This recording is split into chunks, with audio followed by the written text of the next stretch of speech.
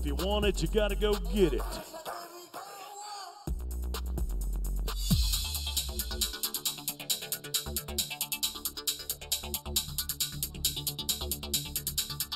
Yep. Yep.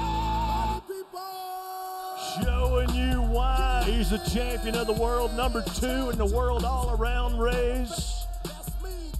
Hey, folks, seven and a half seconds. Make a little noise for the cowboy.